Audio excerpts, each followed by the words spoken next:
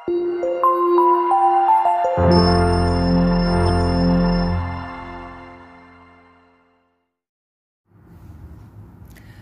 വീഡിയോയിലേക്ക് എല്ലാവർക്കും സ്വാഗതം. ഇന്ന് നമ്മൾ ചെയ്യാൻ പോകുന്നത് എക്സസൈസ് തേർട്ടീൻ പോയിന്റ് ടുവിന്റെ ക്വസ്റ്റ്യൻ നമ്പർ ത്രീ ആണ്. അപ്പോൾ ക്വസ്റ്റ്യൻ എന്താണെന്ന് നമുക്ക് നോക്കാം. കംപ്ലീറ്റ് ദ ഫോളോയിങ് ടേബിൾ നമുക്കിവിടെ ഒരു ടേബിൾ തന്നിട്ടുണ്ട്. അതിൽ first column shape then rough figure then number of lines of symmetry അപ്പോൾ നമുക്ക് ഒരെണ്ണം ഇവിടെ ചെയ്ത് കാണിച്ചിട്ടുണ്ട്. ഈക്വിലേറ്ററൽ ട്രയാങ്കിൾ നമുക്ക് തന്നിട്ടുണ്ട്. അപ്പോൾ അതിന്റെ റഫ് ഫിഗർ വരച്ചിട്ട് അതിന് എത്ര ലൈൻ ഓഫ് സിമെട്രി ഉണ്ട് എന്നുള്ളത് ഇവിടെ അവർ വരച്ച് വെച്ചിട്ടുണ്ട്. എത്രയുണ്ട്? ഒരു ഈക്വലേറ്ററൽ ട്രയാങ്കിളിന് ത്രീ ലൈൻസ് ഓഫ് സിമെട്രി ആണുള്ളത്. ഇനി ബാക്കിയുള്ളതൊക്കെ നമ്മൾ തന്നെ ചെയ്യണം. ഇനി അടുത്തത് സ്ക്വയർ അപ്പോൾ നമുക്കിവിടെ റഫായിട്ട് ഒരു സ്ക്വയർ വരച്ചിട്ട് അത് ചെയ്ത് നോക്കണം. അപ്പോൾ സ്ക്വയറിന് എത്ര ലൈൻസ് ഓഫ് സിമെട്രി ഉണ്ടെന്ന് കഴിഞ്ഞ ദിവസം ഇൻട്രൊഡക്ഷൻ വീഡിയോയിൽ നമ്മൾ കണ്ടു. എത്ര ലൈൻസ് ഓഫ് സിമെട്രി ഉണ്ട്? കറക്റ്റ് ഇതിനെ ഇങ്ങനെ വരച്ചാൽ ഇത് രണ്ടും എക്സാക്ട്ലി മാച്ച് ആവും. അപ്പോൾ വണ്ണായി ടു ഇങ്ങനെ ഫോൾഡ് ചെയ്യാം. അടുത്തത് ഈ വെർട്ടെക്സിൽ നിന്ന് ഇങ്ങോട്ട് ചെയ്യാം. അപ്പോൾ ത്രീ ആയി. അപ്പോൾ ഈ ഒരു സൈഡും ഈ ഒരു സൈഡും എക്സാക്ട്ലി മാച്ചാണ് പിന്നെ ഇങ്ങനെ വരയ്ക്കാം. അപ്പോൾ ടോട്ടൽ എത്രയുണ്ട്? ഫോർ ലൈൻസ് ഓഫ് സിമെട്രിയാണ് സ്ക്വയറിനുള്ളത് അടുത്തത് റെക്റ്റാങ്കിൾ റെക്റ്റാങ്കിളിനും എത്ര ലൈൻസ് ഓഫ് സിമെട്രി ഉണ്ട് എന്ന് കഴിഞ്ഞ ദിവസം നമ്മൾ കണ്ടു. റെക്റ്റാങ്കിളിനെ ഇങ്ങനെ വരച്ചിട്ട് ഇതിനെ നമുക്ക് കറക്റ്റ് സെൻട്രൽ കൂടി ഇങ്ങനെ ഒരു ലൈൻ ഓഫ് സിമെട്രി വരയ്ക്കാം. അപ്പോൾ ഈ രണ്ട് സൈഡും എക്സാക്ട്ലി സെയിം ആയിരിക്കും.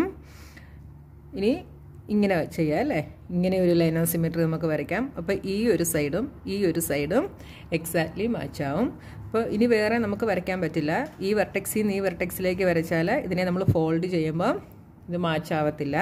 അപ്പോൾ റെക്റ്റാങ്കിളിന് ടു ലൈൻസ് ഓഫ് സിമെട്രി ആണുള്ളത്.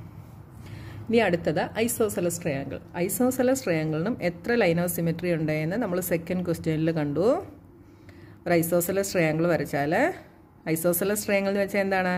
രണ്ട് സൈഡ്സ് ഈക്വലായിട്ട് വരുന്ന ട്രയാങ്കിളിനെയാണ് ഐസോസലസ് ട്രയാങ്കിൾ എന്ന് പറയുന്നത്. അപ്പോൾ ഐസോസലസ് ട്രയാങ്കിളിന്റെ ഈ ഈക്വലായിട്ടുള്ള സൈഡിന്റെ ബിറ്റ്വീനുള്ള വെർട്ടെക്സിൽ നിന്ന് അൺഈക്വൽ സൈഡിലേക്ക് മാത്രമേ നമുക്ക് എന്ത് വരയ്ക്കാൻ പറ്റൂ? ലൈനോ സിമെട്രി വരയ്ക്കാൻ പറ്റൂ. അപ്പോൾ ഐസോസലസ് ട്രയാങ്കിളിന് ഒരു ലൈനോ സിമെട്രിയാണുള്ളത് അടുത്തത് റോംബസ് റോംബസിന്റെ പ്രത്യേകത എന്താണെന്ന് ചോദിച്ചാൽ റോംബസിന്റെ നാല് സൈഡ്സും ഈക്വലായിരിക്കും സ്ക്വയറിനെ പോലെ തന്നെ റോംബസിന്റെയും നാല് സൈഡ്സും ഈക്വലായിരിക്കും അപ്പോൾ റോംബസിനെ നമുക്ക് എങ്ങനെ വരയ്ക്കാം? ഈ ഒരു ഷേപ്പിൽ ഇങ്ങനെ വരയ്ക്കുന്നതായിരിക്കും റോംബസ്. ഓക്കെ?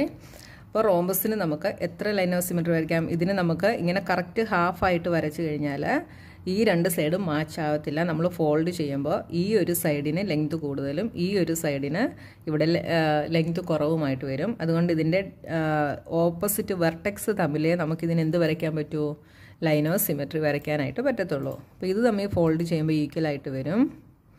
ഇങ്ങനെ വരച്ചിട്ട് ഇങ്ങോട്ട് ഫോൾഡ് ചെയ്താലും ഇത് എക്സാക്ട്ലി മാച്ച് ആവും. അപ്പോൾ റോംബസിന് നമുക്ക് ടു ലൈൻസ് ഓഫ് സിമെട്രി വരയ്ക്കാനേ സാധിക്കത്തുള്ളൂ കേട്ടോ. ഇങ്ങനെ വരുന്ന ഷേപ്പാണ് റോംബസിന്റെ ഷേപ്പ് കേട്ടോ. ചെറിയൊരു ചരിവ് കാണും ഇങ്ങോട്ട്. ഇനി അടുത്തത് സർക്കിൾ സർക്കിളിന് എത്ര ലൈൻ ഓഫ് സിമെട്രി വരയ്ക്കാൻ സാധിക്കും? സർക്കിളിന് നമുക്ക് സെന്ററിൽ കൂടി ഇതിന്റെ സെന്ററിൽ കൂടി നമുക്ക് ഇങ്ങനെ വരയ്ക്കാം.